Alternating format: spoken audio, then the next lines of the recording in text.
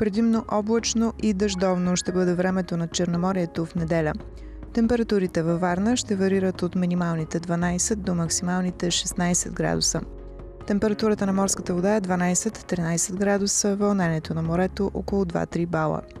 В Русе, Шумен, Добрич и Бургас ще бъде също облачно с превалявания от дъжд. Максималните стойности там ще достигат до 18 градуса. В понеделник ни очаква разкъсана облачност с максимални температури 8 градуса. Във вторник и сряда също ще преобладава разкъсана облачност, а температурите ще достигат съответно до 6 и в сряда до 5 градуса.